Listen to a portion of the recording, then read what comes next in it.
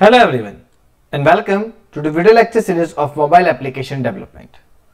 Students, this is our instructor Janice Shah. In today's lecture, we are going to learn about the text to speech in Android where we are going to write something in our text box or I can say that it text box and the Android phone system will say or speak up something from that. So Welcome to the video lecture series students. Let's begin to understand about the text to speech in Android. So students, the text to speech in Android, it allows you to convert your text into voice.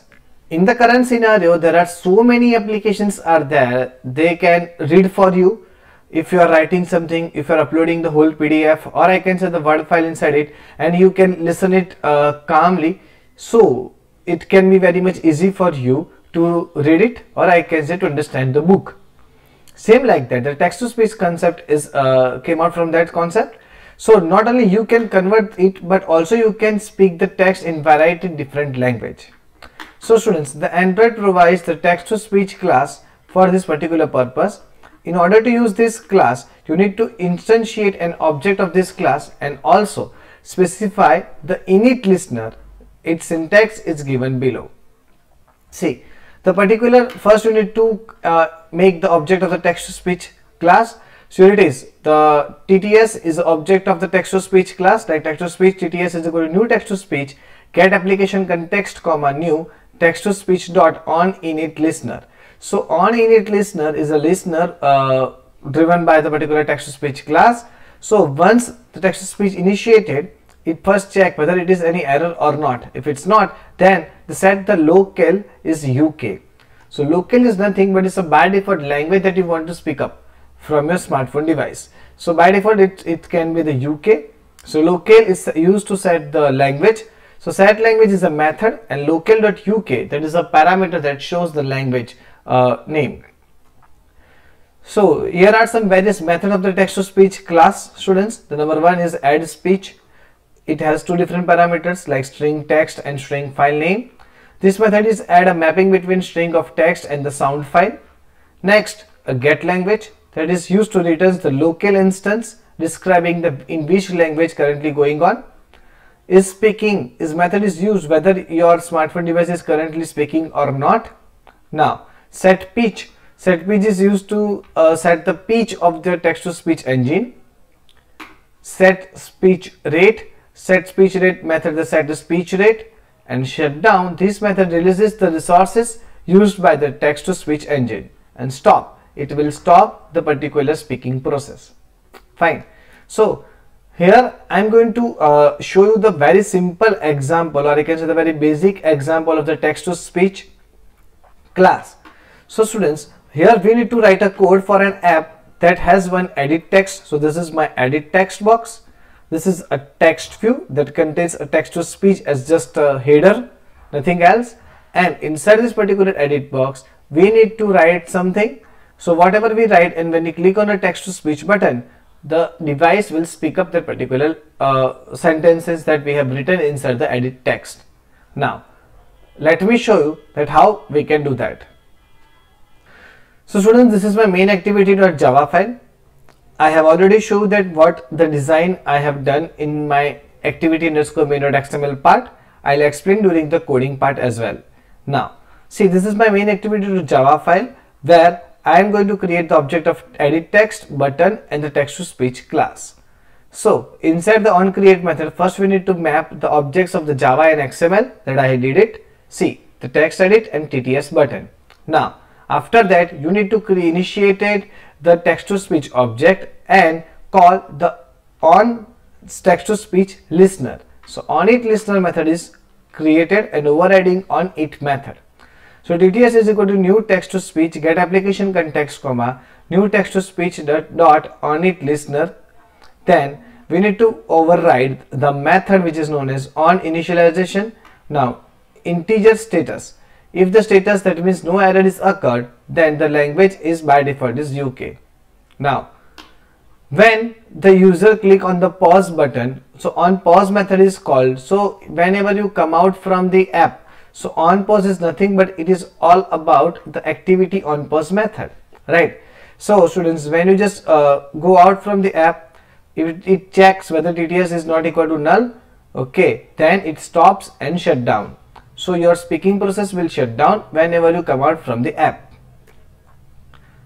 So this is all about the text to speech uh, basic code. Now let me show you the actual programming code. Start. See students, uh, this is nothing but it's a text-to-speech code where you do not need to write anything inside the android manifest.xml file. Same as that insert the main activity.java file and this is activity underscore main.xml file. You do as you also do not need to write anything inside the dependency. Your dependency are same as per the programs. So now let's move towards the activity underscore main.xml file. Here I have created a relative layout. Inside it, I'm going to take a text view that the layout width and height is the wrap content wrap content. The center horizontal layout is true. Text size is 20 dp, layout margin is 20 dp and ID is given as title text view. Now, on the edit text, I have the edit text title text view. Then the text color is already given and the text color heat is already given. So now this uh, shows the text color and this is the text color heat now the button so i take a button which id is uh, here it is see text to speech button fine so i have given everything now it's time to show you the main activity.java file code. So student this is my main activity.java file where edit text button and tts object is created.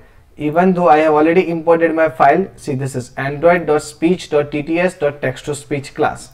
Now see here the protected void onCreate method, the text edit contains cr.id.text edt. TTS button is find view by id r.id.text to speech and this is how we can create a text to speech. So this is the new text to speech get application context comma on init listener overriding the method that is known as on init and text to speech dot error then set the language as local dot uk if it is not error then it will set now this is a set on click listener button. So whenever the TTS button will occur, we just need to call a method which is known as speak. So this is the speak method. See students, this is a method through which you can uh, speak, uh, the speaking processes occur. So first we need to create a string speak. For that we need to get the string from the text edit.getText.toString and make a toast it. I am just uh, toasted them nothing else so this is the tts dot speak method is called. You need to pass the to speak string tts dot queue dot flush and parameter is null. So this is a method through which you can make a speaking process currently going on. If you want to change any language then you can change from here. See this is UK. You can see this is a China, Chinese, and uh, any traditional language this is US and UK okay so this language is provided by the Android so you can also change from UK to US and may, uh, do as per your requirement. This is the you need to override the protected method. On pause method is there where if the TTS object is not null then we need to show stop and shut down the TTS object. Okay. Now now students let me run the application and show you the output first.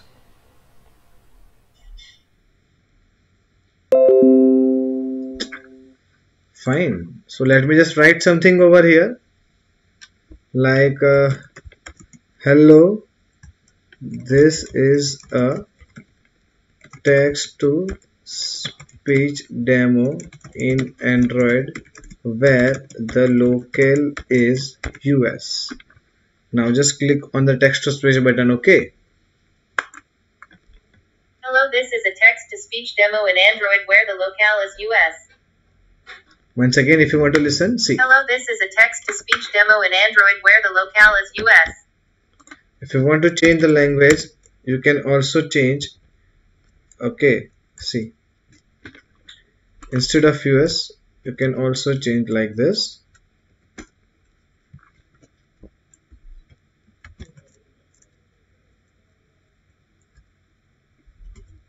Canada and let me just click on this terminate the app once again this is a another demo with local Canada fine This is another demo with local Canada. fine so student this is how you can uh, write something and on a click button This is another you can with get Locale the text to speech demo in android So students, this is all about the text to speech in Android. If you have any doubt in this lecture, then please feel free to ask me. Thank you so much.